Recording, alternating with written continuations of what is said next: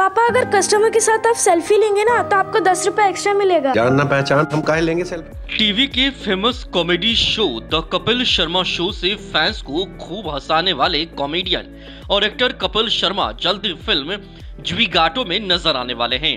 बुधवार को कपिल शर्मा की अपकमिंग फ़िल्म ज्विगाटो का ट्रेलर लॉन्च कर दिया गया। आज हम दस डिलीवरी करेंगे। रोज आप यही कहते हैं। हाँ जैसे रोज आप अपना जूता पॉलिश करते हैं। इस दौरान कॉमेडियन कपिल शर्मा ने अपने जीवन के संघर्ष के दिनों को याद किया। साथ ही कपिल ने बताया कि रियल लाइफ की तरह रियल लाइफ में भी वो डिलीवरी मैन का काम कर चुके हैं। सर आपके साथ एक सेल्फी ले सकते हैं? हमको थोड़ा एक्स्ट्रा मिल जाता है सर।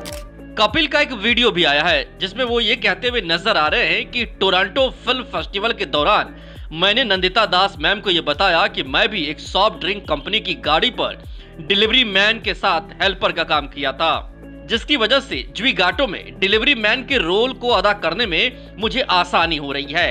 हर किसी के स्ट्रगल का फ़ेज़ होता है। हमने भी शुरुआत में अपने शहर में ऐसे संघर्ष के दिन गुजारे हैं, लेकिन ज्वीगाटो के मानस की कहानी काफ़ी अलग है। नंदिता मैम ने मुझे बताया कि ऐसे फ़ूड डिलीवरी मैन की लाइफ में काफ़ी उतार चढ़ाव आते हैं और वो काफ़ी दिक्कतों का सामना करते हैं। आप और कुछ काम क्यों नहीं कर लेते?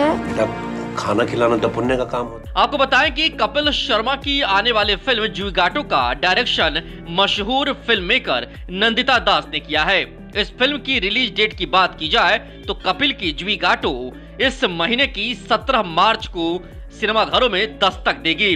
इस फ़िल्म को लेकर कपिल शर्मा का नाम काफ़ी सुर्खियाँ बटोर रहा है। अच्छा नहीं लगता तुमसे काम करवाना। आप थोड़ी ना करा रहे हैं हम कर रहे हैं। अपना मर्ज़ी से।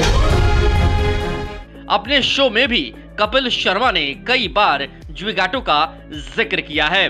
आपको भी शायद ये फ़िल्म पसंद आएगी अगर आप कपिल शर्मा के फ़ैन हैं।